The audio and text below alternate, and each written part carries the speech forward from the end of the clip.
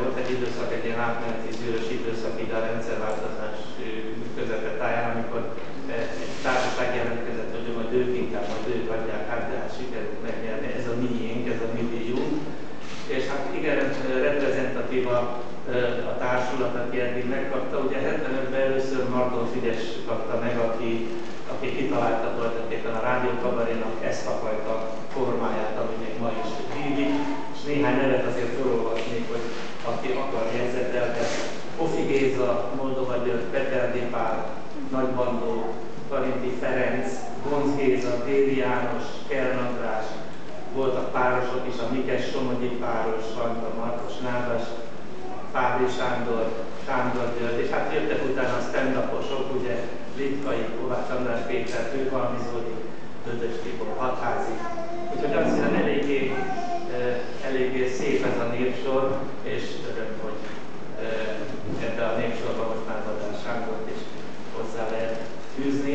Nagy örömre, örömre szolgál, ugyanis, ugyanis ő egy érdekes egyéniség, mert, mert ugye végighallgattam az elmúlt két évben az ő összes számát, 4 óra 42 percet tudtam végighallgatni, de plusz még egy egy órás műsor, de ez csak egy része a, a te számaidnak, mert, mert például a, a, a római fölvételt nem is, nem is találtam meg, úgyhogy vannak ilyen zavarok. De mondom, elég szép, szép summa, amit itt letettél nálunk az asztalra. Bár azért azt hiszem az, az idővel kapcsolatban a Fábréval nem, nem vagy a Fábréval, a Sanyával nem, nem nagy öröm számolni, ugyanis ő neki nincsen érzéke az időhöz. Ezt mindenki tudja, aki már fellépett utána a Rádió Kabaré műsoraiban, ugyanis képtelen az órára pillantani. Volt olyan eset, amikor már mondtam neki, hogy 12 perc legyen, sajnálom, ne, ne menjél tovább. 12 perc, miután utána a, a Kovács Andrásnak még el kell jutni mondjuk Szegedre. 35 perc múlva jött le sugárzó arccal, és azt mondta, hogy na, milyen voltam, benne voltam 12 perc, ugye? Úgyhogy nem, nem kell ezt a időpontot komolyan venni. A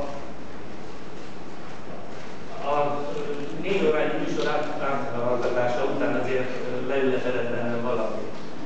Az is egy nagy örömömre szokva, hogy például egyetlen egyszer sem beszélt Gyurcsány vagy Orbán hangon, és ki nem ejtette azt a két szót, hogy MSZP vagy Fidesz. Tehát a kisembernek a, a fideskedő, jéghátán is megélő kisember képe jön elő, amikor az ember hallgatja végig ezeket a, a számokat.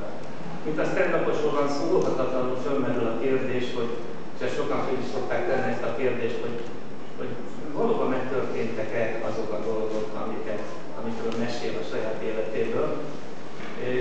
Másoknál ez elő is fordul, de azt hiszem Badárnál nem, hiszen minden egyes ilyen történetet dokumentálva van. Itt vannak, akikkel együtt járt ugye Japánban, itt van, akivel együtt volt Amerikában, valóban volt Bamakóban, film is készült, úgyhogy szempontból, a történetei szempontjából hiteles ember. Még valamit szeretnék hogy megosztani, megosztani veletek, hogy, hogy ha a 42 perc, 4 óra 42 percnyi műsor, hogyha végighallgatja az ember, azért valami kép kialakul. Most én összeírtam csak tulajdonképpen apró kis slágportokban, hogy milyen ember Badár Sándor azok alapján, amit ő maga